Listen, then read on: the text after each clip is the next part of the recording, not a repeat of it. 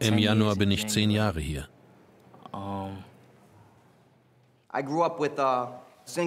Meine Mutter war cracksüchtig.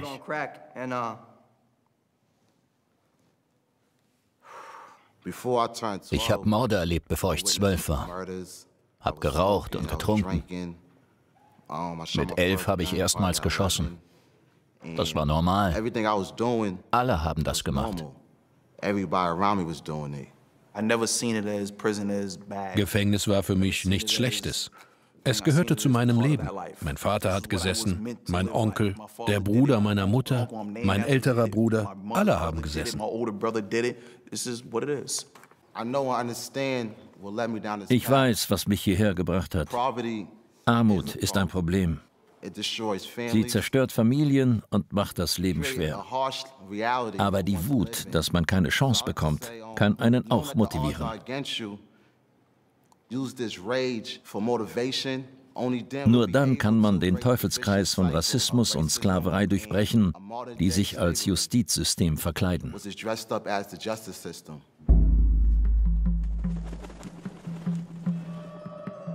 Über meiner Heimatstadt Easton, Pennsylvania, thront das Gefängnis auf einem Hügel. Alle haben Familienmitglieder dort. Ich dachte, dass auch ich da enden würde.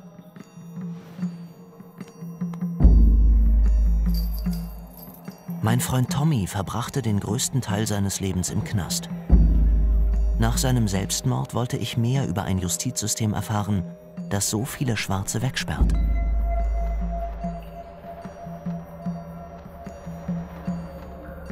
Also fahre ich nach Easton.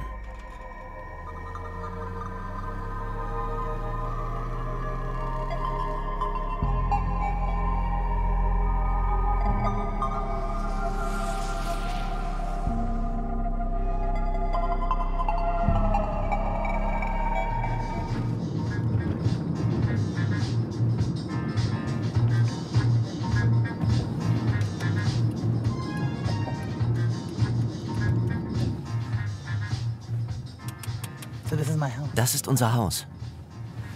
Hier bin ich aufgewachsen. An dieser Ecke kam der Schulbus. Am ersten Tag, nachdem wir hierher gezogen waren, hat mich ein Zeitungsjunge Nigger genannt.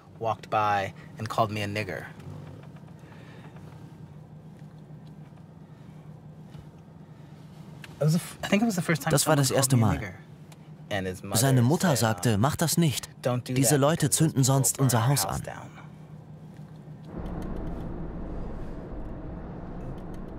An der Schule haben Tommy und ich mit Drogen gedealt. Wir sind in Häuser eingebrochen. So haben wir uns symbolisch von den reichen Weißen zurückgeholt, was uns vor langer Zeit genommen wurde. Ich habe das Fluchtfahrzeug gefahren, Tommy saß neben mir. Wir waren halt jung und sind gerast. Dadurch wurde es noch wahrscheinlicher, dass wir auch im über allem thronenden Knast landen.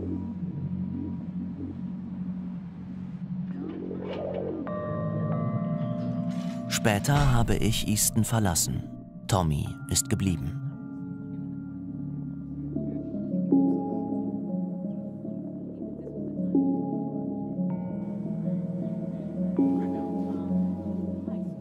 Er hat seine Tochter Jerica versorgt, sie jeden Tag für die Schule fertig gemacht und für sie gekocht.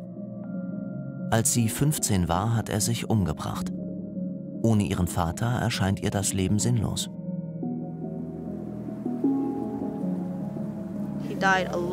Er ist allein gestorben. Ich konnte es nicht fassen. Das hat mich traumatisiert. Er hatte gesagt, er kocht, wenn ich nach Hause komme. Ich habe mir seinen Namen auf den Arm tätowieren lassen. So ist er immer bei mir. Ich spreche mit ihm. Wenn ich in die Kirche gehe, rede ich manchmal mit ihm.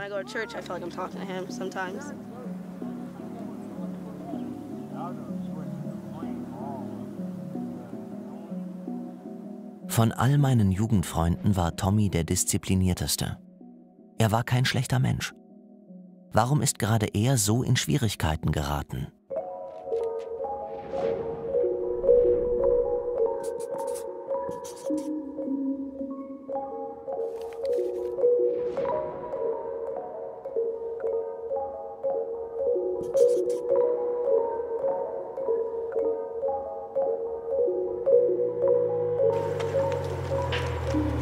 Das ist der Haken am System. Einmal sitzen reicht. Je öfter Tommy ins Gefängnis kam, desto mehr verhielt er sich wie ein Verbrecher.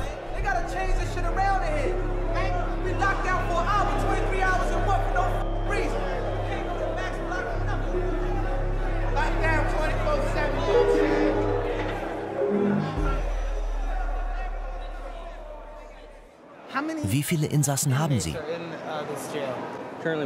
Zurzeit 746. Hier drüben ist es ein bisschen laut und angespannt. Da stehen einem die Nackenhaare zu Berge. Ein paar sind am Randalieren. Warum? Die sind verbal wohl heftig aneinander geraten. Einige Beamte gehen gerade hin, um zu sehen, was da los ist. Aber wenn die sich schlagen, geht man ihnen besser aus dem Weg. Ich kenne die Zahlen, aber so viele Schwarze in Käfigen zu sehen, macht mich wütend. Seit wann bist du hier? Seit heute. Heute. Aber ich kenne das System. Ich weiß, wie korrupt es sein kann. Unfassbar, dass man für so was Kleines eine so lange Strafe bekommt. Erzähl mal vom System. Egal, was man macht, auch wenn man ein Guter ist, man landet unausweichlich hier. Dieses Rein und Raus, man wird Teil des Systems. Man fühlt sich, als wäre man nie draußen. Verstehst du?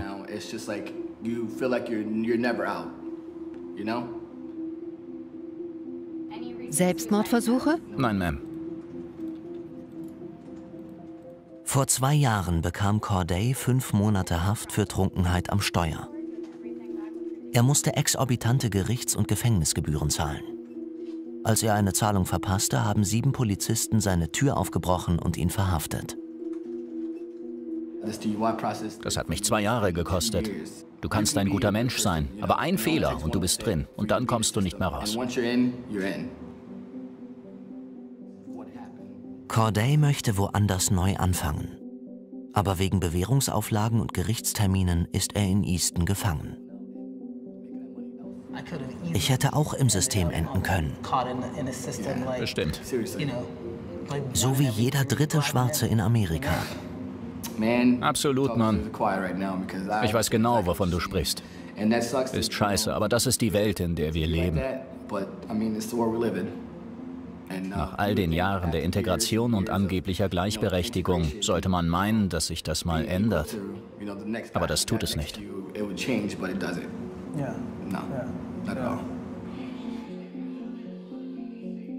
Cordays Geschichte ähnelt der von Tommy. Es wäre wohl auch meine geworden, wenn ich Easton nicht verlassen hätte.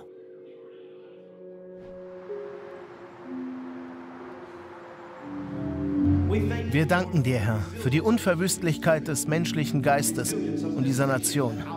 Aus der Asche erstehen wir, aus Staub. Die Kirche war in meiner Jugend sehr wichtig. Tommy hat in der Musikgruppe Schlagzeug gespielt. Ich habe im Chor gesungen. Mein biologischer Vater war Diakon einer anderen Kirche. Er und meine Mutter waren mit anderen verheiratet. Sie hatten eine Affäre. Aber er hat mich als Sohn nicht anerkannt. Als meine Mutter aus Easton wegging, gab es keinen Grund zurückzukehren.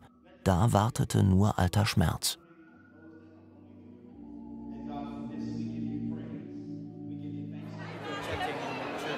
Hi. Erkennst du mich? Schön, dich zu sehen. Schön, dass du uns besuchst. Ja. Mein Neffe ist im Gefängnis. Er hat 13 Jahre bekommen. Du bist Vollzugsbeamter? Ja. Wow, und wo? In Sing Sing. In Sing Sing? Nach der Kirche esse ich mit Tommys Familie zu Mittag. Wer kennt jemanden, der im Gefängnis war? Wer nicht? Alle. Ich war im Gefängnis. Ich und meine ganze Familie auch. Du warst im Gefängnis? Im Bezirksgefängnis?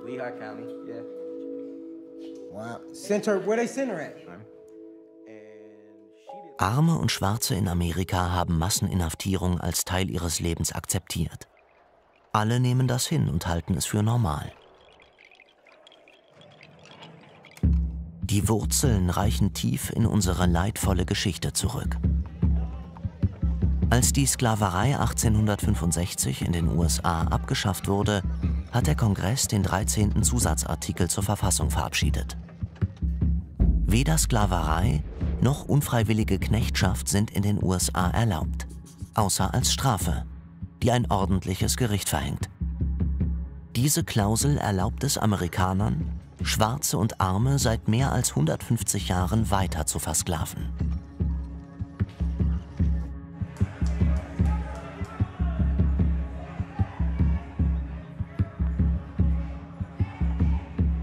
Amerika hat heute die höchste Inhaftierungsrate der Welt. Gefüllt sind die Gefängnisse größtenteils mit Armen und Farbigen. Hey Paul, Roger. Paul Wright, ein Verfechter der Strafvollzugsreform, hat selbst schon gesessen.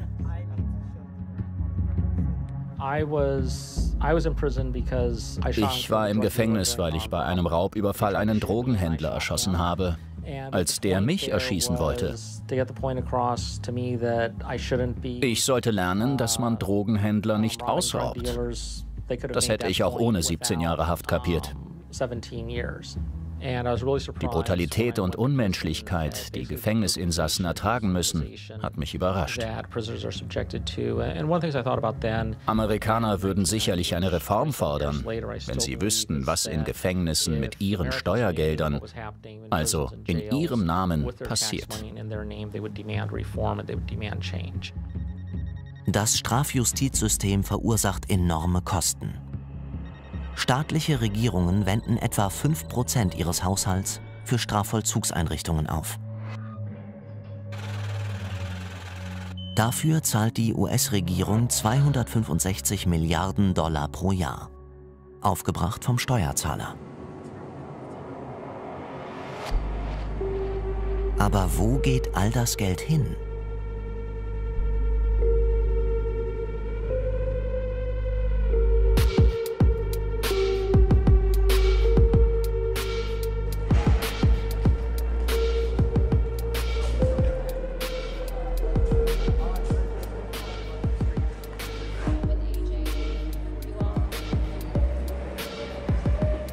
Was machen Sie und wo sind wir hier? Ich bin Geschäftsführer der American Jail Association. Wir konzentrieren uns als weltweit einzige Organisation auf Angestellte in US-Gefängnissen.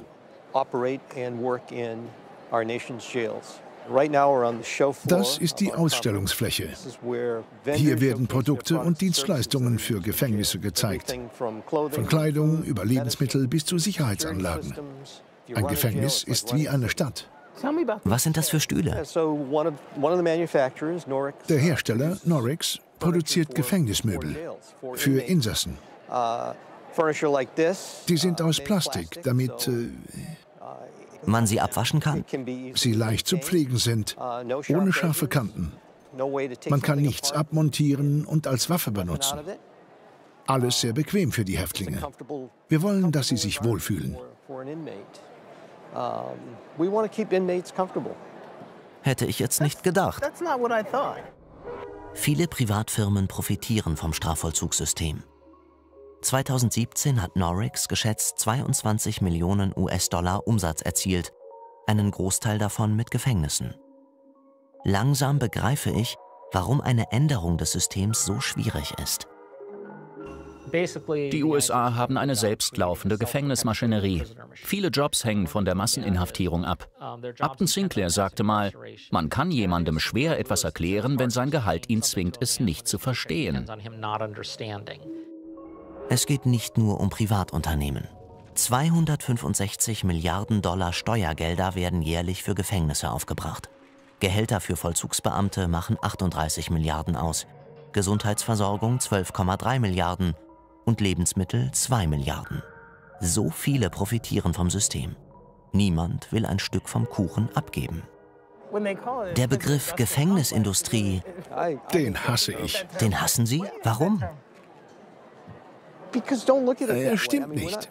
Wir stellen keine Autos her. Niemand profitiert davon. Gefängnisse haben keine Aktionäre. Wir werden nicht an der Wall Street gehandelt. Aber einige Firmen gehören schon zum System. 265 Milliarden US-Dollar jährlich sorgen für Gewinne vieler Firmen. Wie zum Beispiel Telefonanbieter, die Häftlingen übermäßig hohe Gebühren abverlangen.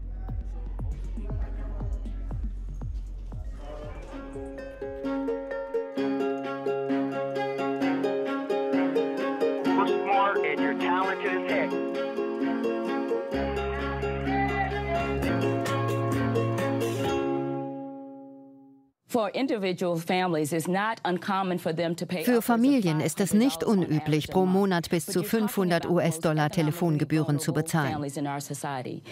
Das sind aber die wirtschaftlich schwächsten Mitglieder unserer Gesellschaft. Nicht nur, dass ein Angehöriger und vielleicht der Hauptverdiener ausfällt, sie müssen auch noch diese extrem überhöhten Gebühren zahlen. Es geht um ein Telefongespräch. Es geht um ein Telefongespräch. Für alltägliche Dienstleistungen müssen Häftlinge ein Vielfaches dessen zahlen, was außerhalb des Gefängnisses üblich ist. So profitieren Firmen vor allem von armen und farbigen Inhaftierten. Viele Firmen profitieren davon. Das betrifft zum Beispiel Telefonanbieter, die Wucherpreise verlangen. Oder Firmen, die Geldflüsse zwischen Insassen und ihren Familien ermöglichen. Oder Lebensmittellieferanten. In der Gefängnisbranche kann man viel Geld machen. Ich bin zufrieden. Ja. Uh, Ihr Konto enthält drei Anlagefonds. Wir können online nachsehen, wo sie investiert werden und ob sie vom Gefängnissystem profitieren some way profiting from the prison system. Okay. So. Ich suche mal nach Corrections Corp of America. Da ist es. And there it is. Verrückt, oder? Wahnsinn. Ja, vielleicht sollte Ihr Finanzberater wissen, dass Sie an bestimmten Dingen nicht beteiligt sein wollen. Unglaublich. Ohne es zu wissen, investiere ich vielleicht in das System. Ich frage andere immer, ob das eine riesige Verschwörung ist, aber alle sagen nein. Alle nehmen das einfach hin. Staatsanwälte, Bezirksanwälte, Richter, Justizbeamte, Geschäftsführer. Alle sind Teil eines funktionierenden Systems. Das ist ein Wirtschaftszweig. Oh, ja, vor 10, 20 Jahren oder noch früher wusste die Regierung genau, wo das hinführen wird. Uh, Aber niemand hat was unternommen. Es gab wohl gemeinsames Interesse daran, dass es so läuft. Warum? Institutioneller, struktureller Rassismus. Das ist meine einzige Erklärung. William G. Otis ist Rechtsprofessor und ehemaliger Bundesanwalt. Präsident Trump hat ihn in die US-Behörde für Strafbemessung berufen. Ich als Konservativer habe einige Bedenken bezüglich der Effektivität und Weisheit der Regierung, aber ab und zu macht sie auch was richtig. Heute sitzen sehr viel mehr Menschen im Gefängnis als in den 60ern und 70ern. Aktuell rund 2,2 Millionen million people in, in prison.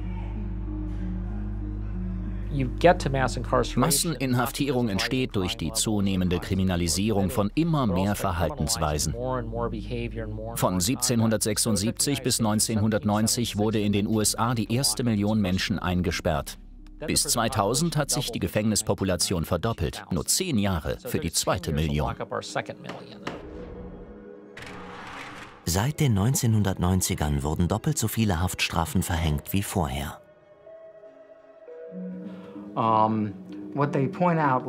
Das hat definitiv was gebracht. Das war kein Fehler. Es ist auch kein Zufall, dass es heute weniger Verbrechen gibt als Anfang der 1990er Jahre.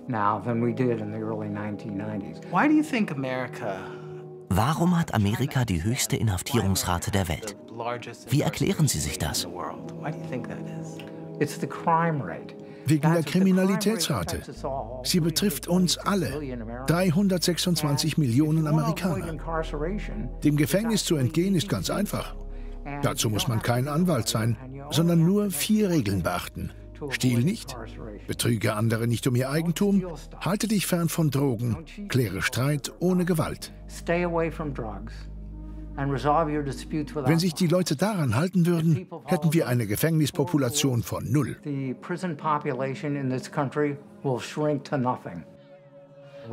Die Ungleichheit nimmt immer mehr zu. Masseninhaftierung dient der sozialen Kontrolle.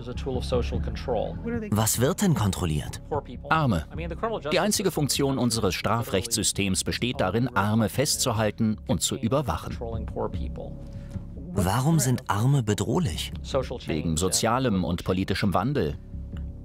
Arme Farbige sind weltweit die Fußsoldaten der Revolution. Sie gelten hier als Bedrohung.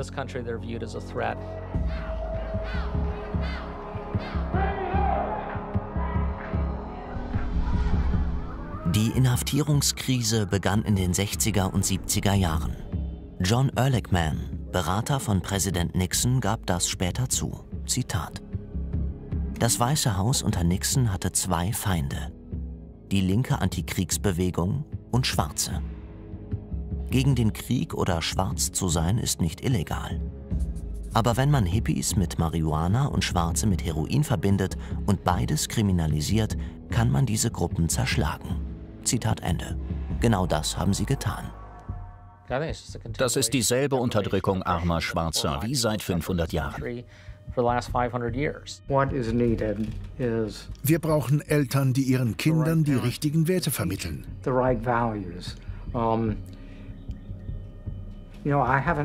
Ich würde wetten, dass Sie nicht erfolgreich und ein unabhängiger Filmemacher geworden wären, wenn Ihre Eltern Ihnen alles erlaubt und niemals die Hausaufgaben kontrolliert hätten. Sie sind nicht mit der Polizei in Konflikt geraten. Denn Ihre Eltern haben Sie gelehrt, andere zu respektieren und Streit ohne Gewalt zu klären. Wer Geld will, soll es sich verdienen, zum Beispiel mit einem Ferienjob. Auch die Trump-Regierung sieht das so. I will restore law and order to our country. And when you see these thugs being thrown into the back of a paddy wagon, you just see them thrown in, rough. I said, please don't be too nice. Like when you guys put somebody in the car and you're protecting their head, you know, the way you put their hand over.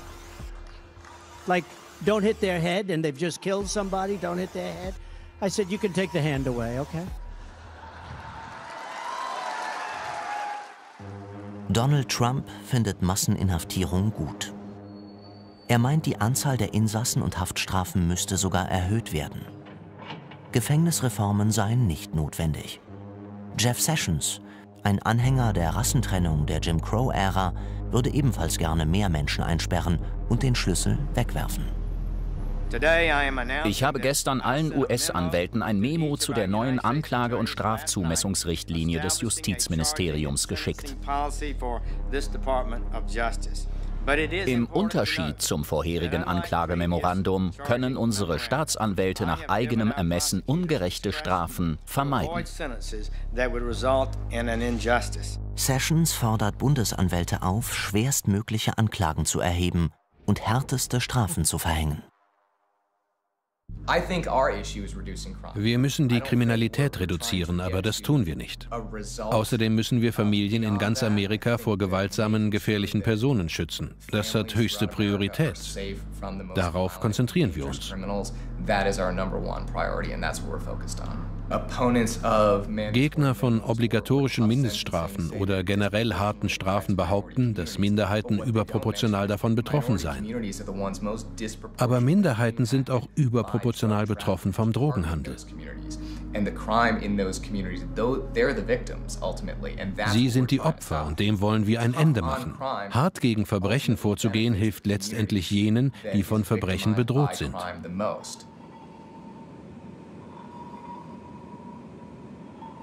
Eine Tatsache ignoriert das Justizministerium. Studien zufolge verhängen Staatsanwälte für schwarze Angeklagte 75 Prozent häufiger obligatorische Mindeststrafen. Außerdem erhalten Schwarze für dieselbe Tat längere Haftstrafen als Weiße.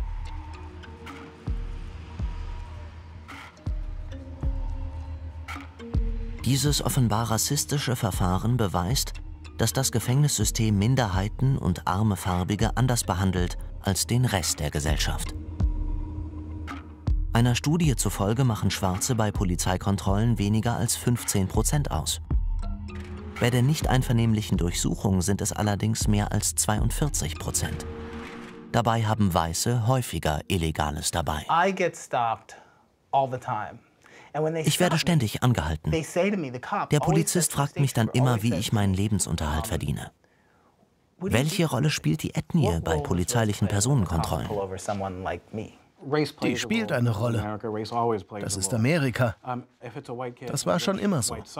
Ein weißer Jugendlicher in einem weißen Vorort mit gut bezahlter Polizei, die sich um die Belange der Reichen kümmern soll, wird ganz anders behandelt. Polizeiarbeit und Gerichte sind lokal geprägt. Wir reden hier über Systemprobleme von Ungleichheit und Rassentrennung. Die sind real, aber damit will sich niemand befassen.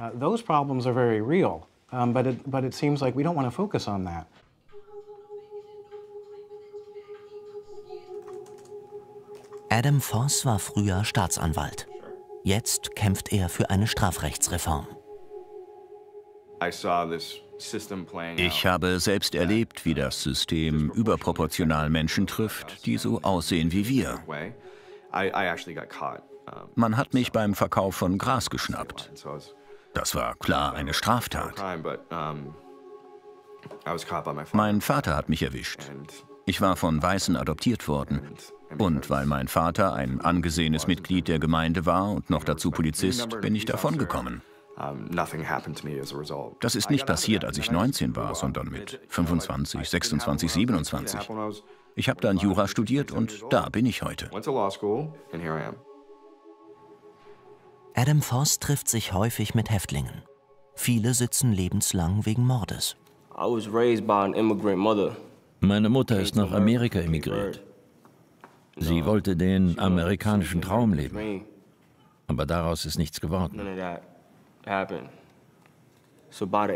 Mit zwölf habe ich angefangen, Drogen zu verkaufen.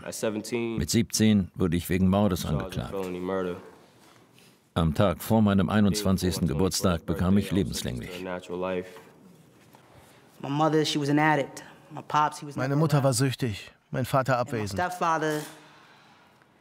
Mein Stiefvater hat meine Mutter missbraucht. Eigentlich sollten Eltern einen lieben, aber das taten sie nicht. Damit bin ich nicht klargekommen. Und habe meine Wut an anderen ausgelassen. Ich habe einen jungen Mann getötet. Aber ich bin nicht mehr der Wilde von damals. Ich bin anständig, zivilisiert und habe meine Würde. Diese Strafe hat den gegenteiligen Effekt. Warum? Im Gefängnis lernt man, sich einen Panzer anzulegen, um sich vor anderen zu schützen.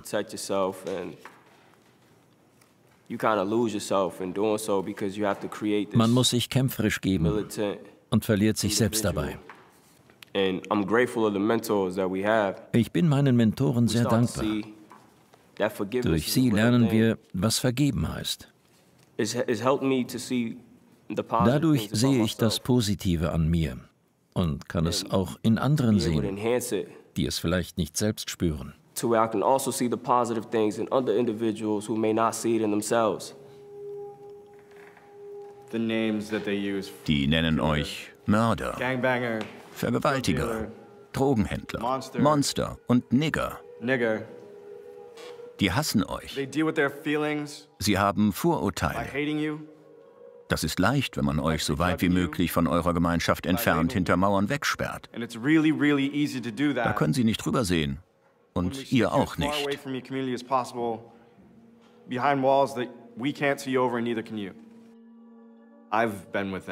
Ich treffe die jetzt seit fünf Jahren und erlebe, was das Gefängnis mit ihnen macht. Sie sind erwachsene Männer geworden und haben für ihre Strafen gebüßt. Aber das Gefängnis hinterlässt Spuren. Das sind fünf Jahre. Aber sie haben noch 50 bis 60 vor sich.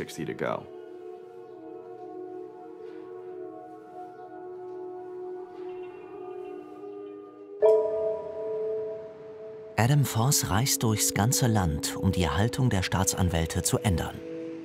2,2 Millionen Menschen sitzen derzeit im Gefängnis. Afroamerikaner machen nur 14 Prozent der Bevölkerung aus, im Gefängnis aber viel mehr. Nicht, weil sie mehr Straftaten begehen oder weil Staatsanwälte Fanatiker sind, sondern weil Entscheidungen durch Vorurteile beeinflusst werden.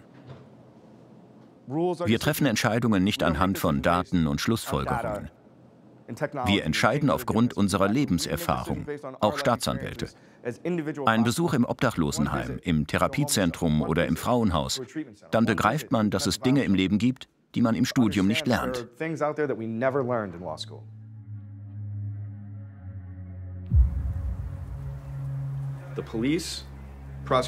Polizei, Staatsanwälte, Richter und Bewährungsbeamte verdienen an Häftlingen gar nichts. Sie sperren aber trotzdem Menschen ein weil uns alle einreden, wir wären dadurch sicherer und die würden sich bessern. Die Gefängnisse müssen voll sein, damit das Geschäft läuft. Natürlich kann man nicht einfach jemanden von der Straße holen und in den Bau stecken. Dafür braucht man Polizei, Staatsanwälte, Richter und Bewährungsbeamte. Firmen der Gefängnisindustrie brauchen Häftlinge.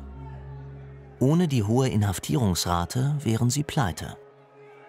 Zum Erhalt dieser 265 Milliarden Dollar schweren Branche braucht man einen ständigen Zustrom neuer Menschen.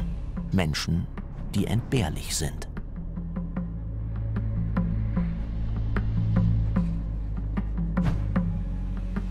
In der Geschichte der Zwangsarbeit in Amerika sahen die Machtlosen immer anders aus als jene, die Macht haben. Durch die Inhaftierung Machtloser werden Gefängnisse gefüllt. Legt ein Polizist einem jungen Schwarzen Handschellen an, ist der auf dem besten Weg in ein System, aus dem es kein Entrinnen gibt.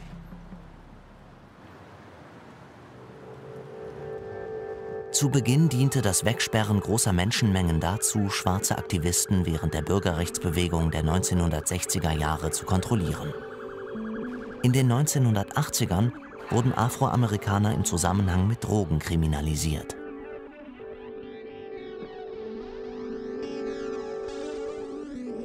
In den 1990ern führte die rassistisch motivierte Angst vor jugendlichen Gewalttätern zur Inhaftierung so vieler Menschen, dass Gefängnisse zum Wirtschaftszweig wurden. Der ist heute so lukrativ, dass die Moral hinter dem Geld zurückstehen muss.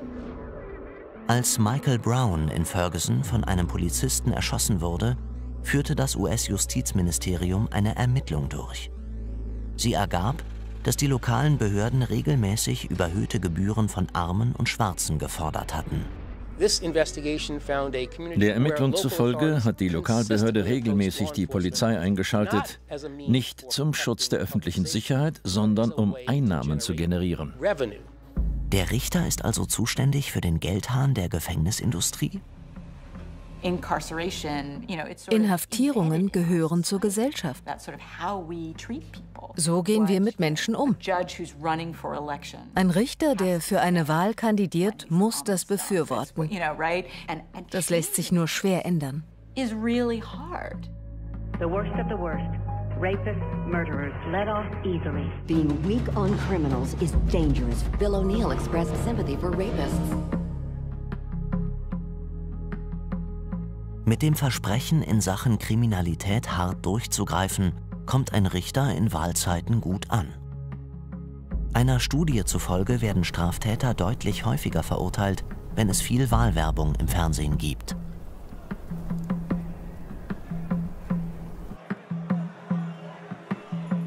Bewährung ist ebenfalls ein Grund für volle Gefängnisse. Bewährungshelfer waren früher Sozialarbeiter, die beim Übergang ins normale Leben geholfen haben. Im Verlauf der letzten 20 Jahre sind sie eher zu Polizisten geworden. Viele sitzen wegen Verletzung der Bewährungsauflagen, aber nicht wegen neuer Straftaten. 76 Prozent der Freigelassenen sind nach sechs Jahren wieder im Gefängnis, oft wegen verletzter Bewährungsauflagen. In der Bewährung muss man bestimmte Regeln einhalten. Man muss Adresse und Telefonnummer angeben, damit man erreichbar ist. Man muss sich Job und Wohnung suchen. Sich nicht daran zu halten, ist aber keine Straftat. Wer keinen Job will und mit Freunden abhängt, begeht kein Verbrechen. Wer keine Ausbildung macht und Gras raucht, begeht keine Straftat. Staatsanwälte und Bewährungshelfer können einen deshalb aber einbuchten. Das ist das kleine schmutzige Geheimnis, über das niemand spricht. Viele sitzen im Gefängnis, weil sie es sich nicht leisten können, rauszukommen. Diese moderne Bestrafung für Armut gleicht den unmenschlichen Gefängnissen aus dunkler Vergangenheit. Warum sind Sie hier? Dreimal Trunkenheit am Steuer. Ich kann in fünf Tagen raus, war aber ein Jahr hier. Rückfall, Trunkenheit am Steuer. Ich schulde den Behörden 545 Dollar. Aber ich habe meinen Job verloren, bevor ich die letzte Rate zahlen konnte. Ich bin jetzt sechs Monate hier. Es geht nur rückwärts. Korrupte Behörden. Korrupte Behörden? Northampton geht's nur ums Geld. Schuldet man denen 5 Dollar, zahlt man besser. Ich hatte Arbeit. Als mein Leben durcheinander kam, waren Job und Wohnung weg. 545 Dollar für einen Fall, der abgeschlossen ist, sobald ich draußen bin.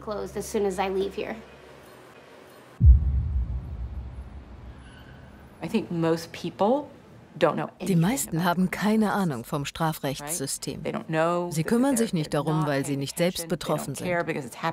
Häufig betrifft es Menschen anderer Hautfarbe oder Herkunft. Dann denken sie, die haben eben was falsch gemacht. Alles ist möglich. Also Aber wenn man die Leute fragt, ob man sein Leben lang für Ruhestörung büßen soll oder Jahre ins Gefängnis soll, weil man einen ungedeckten Scheck geschrieben oder ein Video nicht zurückgegeben hat, da sagt keiner Ja. Warum werden so viele festgehalten? Die Menge wird nicht von einer Person kontrolliert. Über den Weg ins Gefängnis entscheiden verschiedene Personen, unabhängig voneinander. Und plötzlich ist der Knast voll. So füllen sich auch die Kassen lokaler Behörden. Denn die fordern oft überhöhte Gebühren von Menschen, die nicht in der Lage sind zu zahlen. Auf Bewährung muss man dafür zahlen, dass man überwacht wird. Zu meinen Zeiten als Staatsanwalt waren es 65 Dollar im Monat. Heute sind es 90. Nehmen wir einen jungen Schwarzen, der Kinder hat, aber keine Aussicht auf Arbeit. Nichts gelernt. Der verkauft Drogen, weil er Geld braucht, um aus dem Schlamassel rauszukommen. Das System macht es ihm noch schwerer, Arbeit, eine Wohnung, finanzielle Hilfe und anderweitige Unterstützung zu bekommen. Er muss das ja alles bezahlen. Was passiert dann wohl? Wie kann man glauben, dass dieses System Menschen davon abhält, Straftaten zu begehen?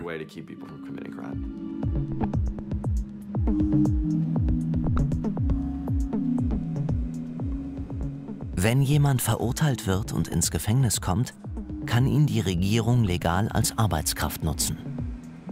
Die Häftlinge arbeiten für fast keinen Lohn.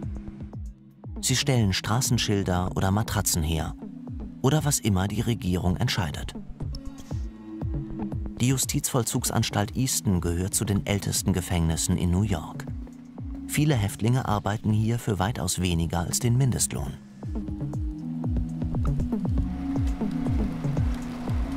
Manche halten das für eine gute Sache, weil die Insassen was lernen, das sie später in Freiheit nutzen können. Für andere ist es moderne Sklaverei.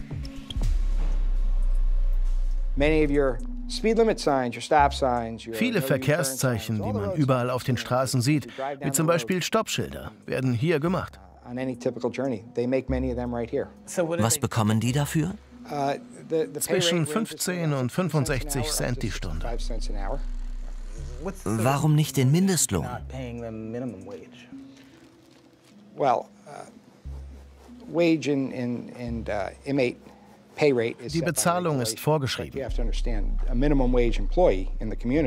Ein Arbeitnehmer draußen, der Mindestlohn bezieht, muss ja alle möglichen finanziellen Verpflichtungen erfüllen. Uh, er muss seinen Haushalt führen, die Familie ernähren, Steuern zahlen, Lebensmittel kaufen, Miete, Transport und Krankenversicherung zahlen. Jemand, der im Gefängnis sitzt, muss für all das ja gar nicht aufkommen Für Gerichtskosten und Gebühren muss ein Häftling durchschnittlich etwa 13.600 Dollar aufbringen. Seine Familie leidet, weil sein Verdienst wegfällt. Mit 48 hat ein ehemaliger Häftling 179.000 Dollar weniger verdient als jemand, der nie im Gefängnis war. Wenn Häftlinge vor Gericht die Bezahlung ihrer Arbeit einklagen, heißt es stets, Ihr seid Sklaven. Ihr seid Sklaven des Staates. Genau diese Worte haben die Gerichte in den letzten 120 Jahren benutzt. Häftlinge sind Sklaven des Staates und haben keinen Anspruch auf Vergütung. In der Presse heißt es, dass Firmen wie Whole Foods, Victoria's Secret und Starbucks Gefangenenarbeit nutzen. Paul Wright hat das aufgedeckt. Welchen Anteil hat Gefangenenarbeit bei Unternehmen? Uh, Der ist ziemlich klein. Das ist jetzt nicht toll für Ihre Reportage, aber der Privatsektor in diesem Land beschäftigt durchschnittlich 5000 bis 6000 Häftlinge. Uh, die meisten arbeiten nicht für private Firmen, sondern für die Regierung. Billige Arbeit hält das Gefängnissystem am Laufen. Was machen sie denn? Die Häftlinge betreiben die Gefängnisse. Sie machen alles, was getan werden muss, außer im Bereich Sicherheit. Zum Beispiel Klempner und Wartungsarbeiten, Verwaltung und Hausmeisterdienste. Putzen, kochen, Essen austeilen. Was immer im Gefängnis erledigt werden muss, tun die Häftlinge. Dadurch spart das Gefängnis ein Vermögen. Zig Millionen Dollar. Zig Millionen Dollar.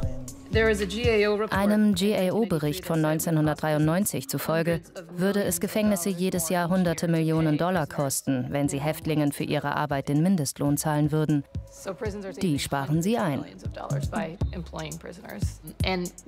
In Staatsgefängnissen liegt das Durchschnittsgehalt bei 20 Cent pro Stunde, in Bundesgefängnissen bei 31 Cent. In vielen Staaten wird überhaupt nichts gezahlt. Was? Oh ja. In Texas, Georgia, Arkansas und Alabama werden Häftlinge für ihre Arbeit gar nicht bezahlt. Teilweise müssen sie unter Androhung disziplinarischer Maßnahmen arbeiten. Wer sich weigert, geht in Isolationshaft. Das ist Sklaverei. Inhaftierte kommen in dieser Diskussion nur selten zu Wort. Manche sagen, im Gefängnis sollte es keine Arbeitsprogramme geben. Was meinen Sie? Das sehe ich anders. Ich kann mich in dieser Zeit bewegen, meine Wut rauslassen. Das ist ein Puffer. Dadurch habe ich einen Anreiz, das Richtige zu tun und mich zu ändern.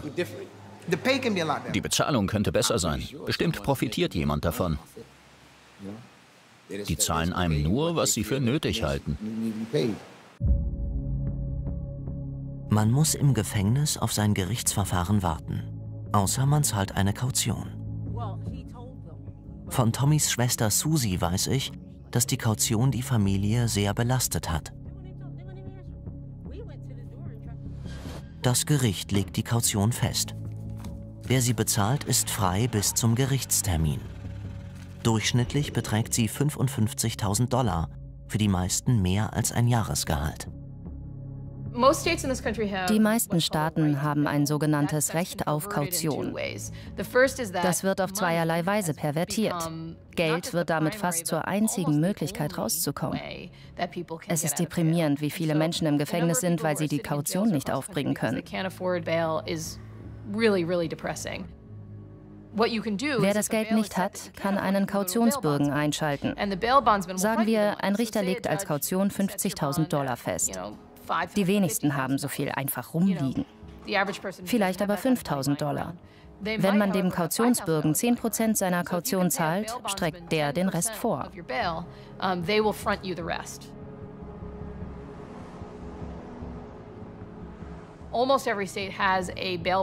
In fast allen Staaten gibt es eine Kautionsbranche. Die betreibt Lobbyarbeit, um ihre Interessen durchzusetzen. Bei jedem Versuch, das Kautionssystem zu reformieren, drängen die Lobbyisten darauf, dass es so bleibt, wie es ist.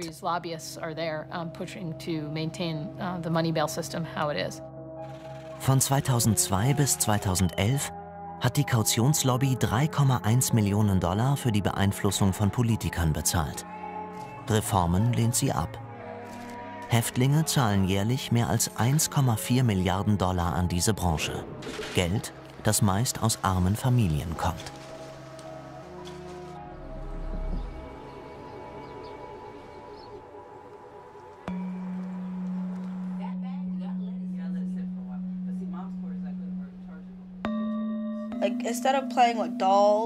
Anstatt mit Puppen zu spielen und eine normale Kindheit zu haben, wie ich es jedem wünsche, musste ich Bier verstecken und die Polizisten bitten, meinen Vater nicht mitzunehmen.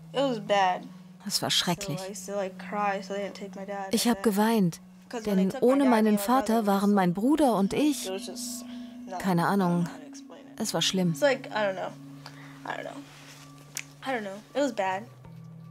Wie oft war Tommy im Gefängnis? Sehr oft. Jeden Monat? Alle paar Monate? Öfter als jeden Monat. Einfach eingesperrt. Ohne Hilfe oder Therapie in den Knast. Die haben ihn einfach da reingesteckt. In eine sogenannte Blase. Da kommt man rein, wenn sie einen für Selbstmord gefährdet halten. In Papierkleidung. Die anderen im Gefängnis können an einem vorbeigehen und dich begaffen. In Northampton? In Northampton County. Sie haben ihm so viele Medikamente gegeben, dass er oft seinen Namen nicht mehr wusste. Das ging so über mehrere Jahre.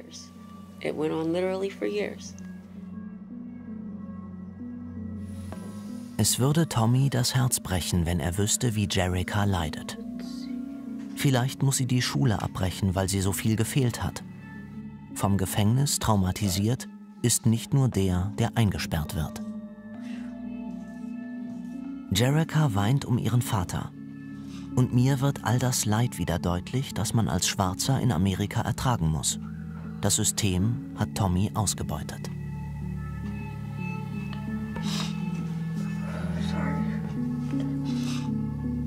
Wenn die Gerichte nicht kriminalisieren, sondern rehabilitieren würden, wäre er noch am Leben. Tommy war einer meiner besten Freunde an der Highschool. Er musste ständig ins Gefängnis, hat aber nie eine Therapie bekommen. Wie kann das nur sein? Und wie viele Tommys gibt es wohl noch? Es gibt viele Tommys. Sie sollten aber nicht im Gefängnis sein, sondern in Krankenhäusern, wo man ihnen helfen kann. Psychische Erkrankungen sind ein großes Problem in unseren Gefängnissen. In Miami-Dade haben 62 Prozent eine psychische Erkrankung. Wenn wir die behandeln oder sie an entsprechende Einrichtungen außerhalb des Gefängnisses überweisen würden, gingen die Insassenzahlen zurück.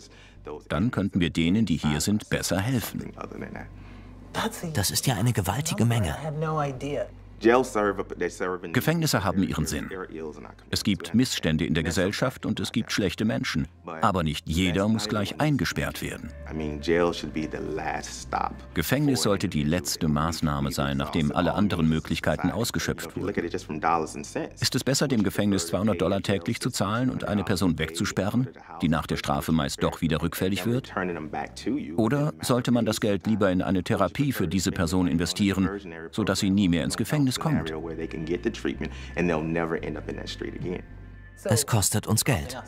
Es kostet uns Geld. Es kostet definitiv mehr, wenn man die falschen Personen einsperrt, anstatt sie zu therapieren.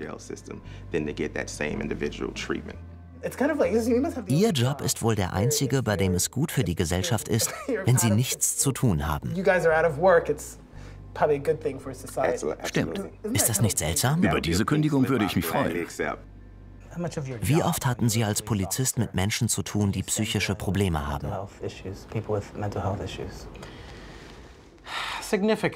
Sehr oft. Wenn Alkohol und Drogen im Spiel sind oder die Familie Probleme hat, kann man das schwer einschätzen. Ich wünschte, Polizisten müssten nicht mit Menschen umgehen, die in einer psychischen Krise stecken. Sie sollten besser dafür ausgebildet werden. Aber eigentlich ist das nicht ihr Job. Mental issues, but at some level, I don't think that should be the officer's job. Psychische Gesundheitsversorgung durch Masseninhaftierung, das ist ein moralisches Verbrechen unserer angeblich zivilisierten humanen Gesellschaft. Gibt es eine schlimmere Behandlung als Gefängnis? Psychische Erkrankung und Inhaftierung hängen zusammen. Seit den 70er Jahren werden Einweisungen in die Psychiatrie seltener aber Inhaftierungen psychisch Kranker extrem häufig. Es sollten nicht Vertreter des Strafrechtssystems sein, die sich als Erste um psychisch Kranke kümmern oder um Personen, die sich wegen Depression oder Trauma mit Alkohol und Drogen selbst behandeln. Das ist nicht Aufgabe des Systems. Bei Reformen muss es auch darum gehen, wie man Betroffene besser erkennt und Behandlungsmöglichkeiten außerhalb des Gefängnisses findet and finding alternatives to get them out.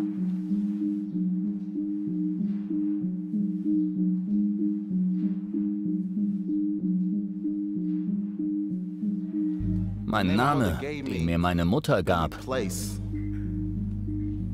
wurde eine Nummer. Und Sie fragen, ob es noch Sklaverei gibt?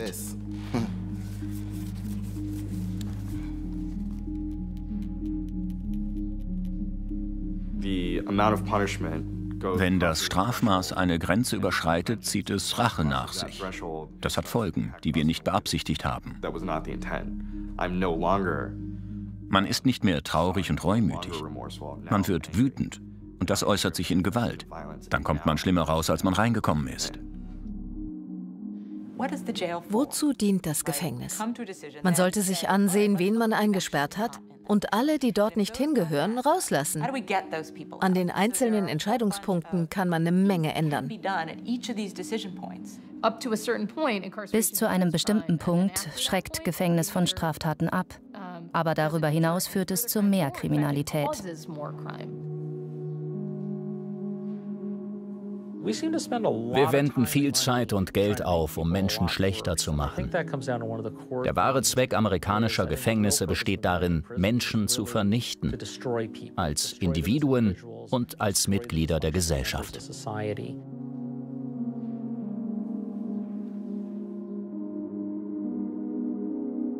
Mir wird Angst, wenn ich mir vorstelle, wie das Strafrechtssystem nach der Trump-Regierung aussehen wird. Jeder sollte die Geschichten von Tommy, Corday oder anderer Häftlinge kennen.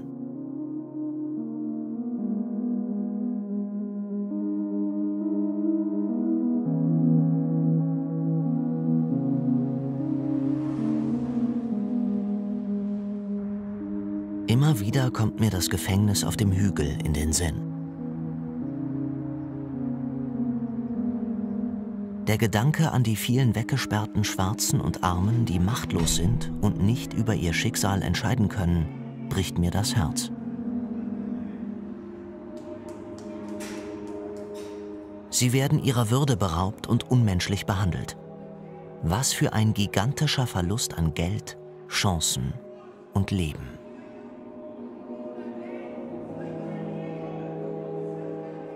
Wenn wir diese Grausamkeit weiterhin zulassen und nichts unternehmen, verlieren wir jede Menschlichkeit.